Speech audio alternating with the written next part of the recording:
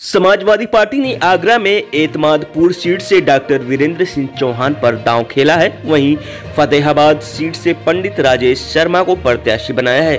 उत्तर seat से ज्ञानेन्द्र गौतम को चुनाव मैदान में उतारा है। दक्षिण सीट पर अभी कश्मकश चल रही है।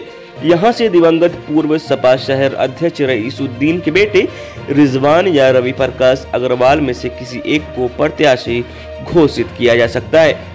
बता दें कि समाजवादी पार्टी और रालोद के बीच गठबंधन होने से आगरा जनपद की नौ सीटों में से तीन सीट रालोद के खाते में चली गई है, जबकि छह सीटें सपा के हिस्से में आई है।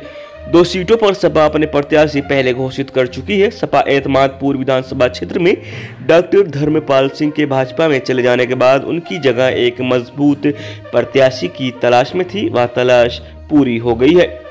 सपा ने यहाँ से डॉक्टर अंबेडकर विश्वविद्यालय टीचर्स एसोसिएशन के अध्यक्ष डॉक्टर वीरेंद्र सिंह चौहान को चुनाव मैदान में उतार दिया है। वीरेंद्र चौहान ठाकुरों की बायसी के गाँव के मूल निवासी हैं।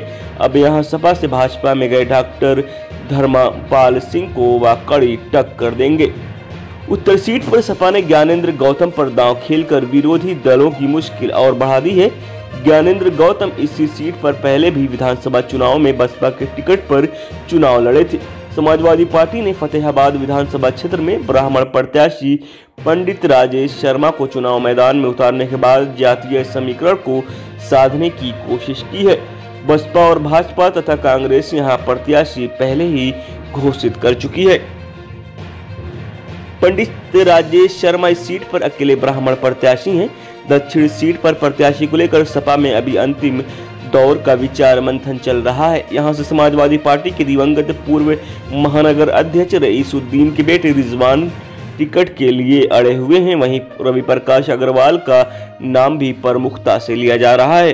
पार्टी जातीय संतुलन को ध्यान में रखते हुए आज शाम तक इस सीट पर भी अपना प्रत्याशी घोषित कर देगी।